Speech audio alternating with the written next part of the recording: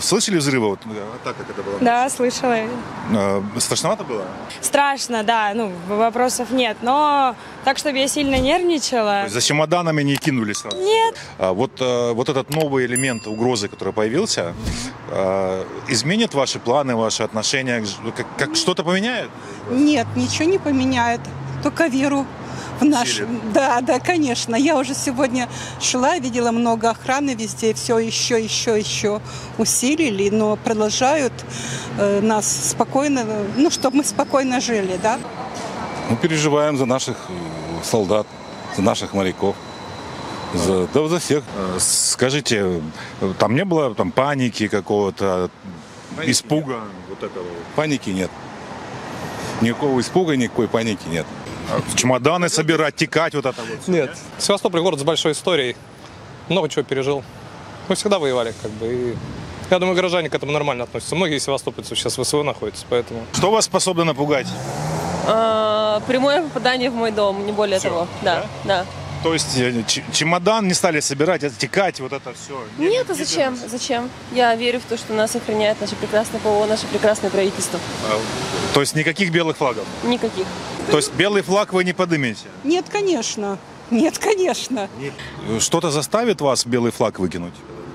Это как понять? Ну, типа, сдаемся, все, не надо, не стреляйте. Вот это вот. Пани- пани- Нет, надо до последнего, и надо ответ отвечать, я считаю, и отвечать немедленно, я бы так сказала. Я сам не севастополец, я с Урала, но я здесь уже лет, наверное, 7 живу.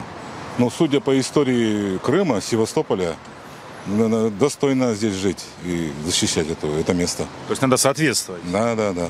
Столько крови здесь пролито, русская имеется в виду, что это надо... да. Я даже рад, что я нахожусь в Севастополе. Это- именно в это время. А откуда у горожан эта вот невозмутимость?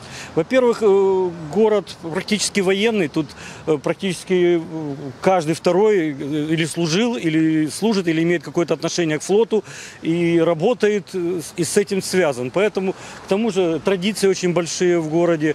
Очень много... Ну, это военный город. Трусить не принято в Севастополе. Нет, нет, нет. Это моветон. Они первые, наоборот, пойдут на защиту. Первые, как вот было в 2014 году, пойдут защищать, пойдут, э, отдадут свое все, А Откуда в горожанах такое вот хладнокровие? Честно, спокойно, потому что у меня вот молодой человек находится там на специальной военной операции, и я знаю, что нас защищают, я знаю, что у нас стоит много защиты, и в этом плане вот я, честно говоря, спокойна, потому что, да, бывают случаи, когда долетает, но я почему-то уверена и спокойна, что нас защищают.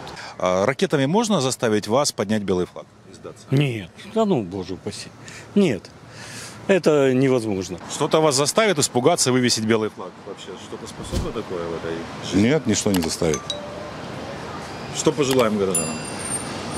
Все пройдет. И это тоже. И это пройдет, да. Мы победим.